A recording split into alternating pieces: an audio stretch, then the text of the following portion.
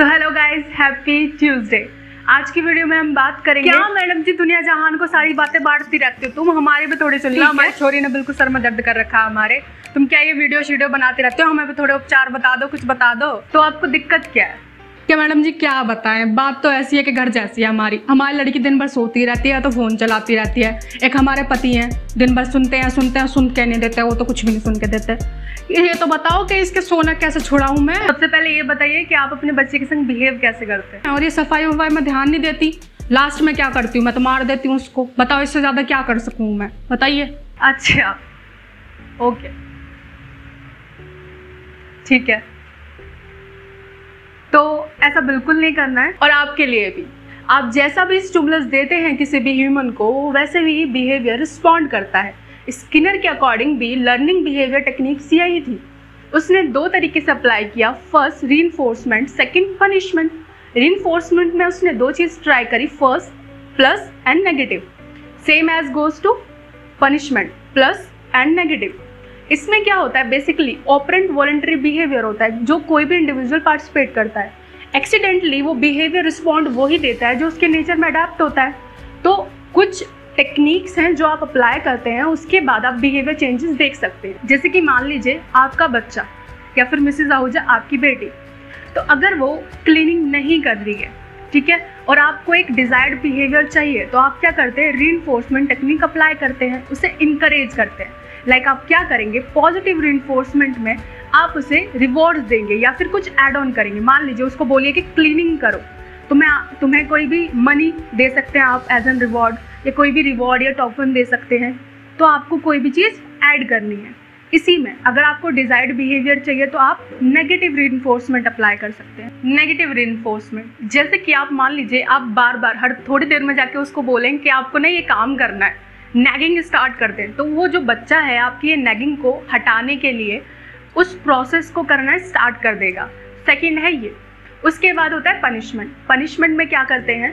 Punishment में आपको positive negative same apply करना है। बस इसमें क्या होता है कि आप उससे वो बिहेवियर निकाल लेंगे या उसे पनिश करेंगे उसके लिए। इनक्रेज नहीं करना है। डिज़ायर्ड बिहेवियर जो भी आपको बिहेवियर चाहिए, उसके लिए आपको कोई चीज़ निकालनी है।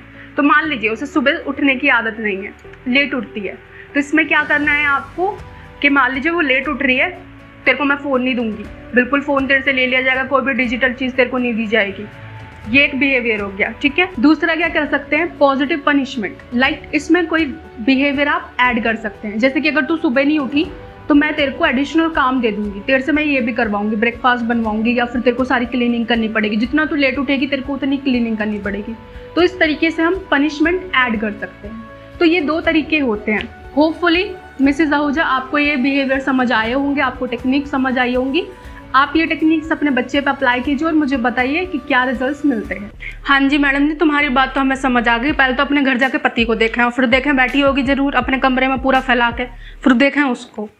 ठीक है। सही है सही है, सोती रह। पापा की परी सोती रह, बस तू ये सारा फैला के सब कुछ खराब करके, तेरे से तो उम्मीद कुछ करना खराब है।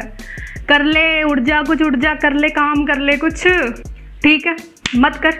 जा रही हूँ मैं, यहीं पड़ी रह, कुछ मत कर, तू जा, बस। तेरा डिजिटल बना से सब कुछ बंद, तेरा खाना पीना बंद। सोई रह, कोई दिक्कत नहीं मुझे, ठीक है। मैं कर देती हूँ।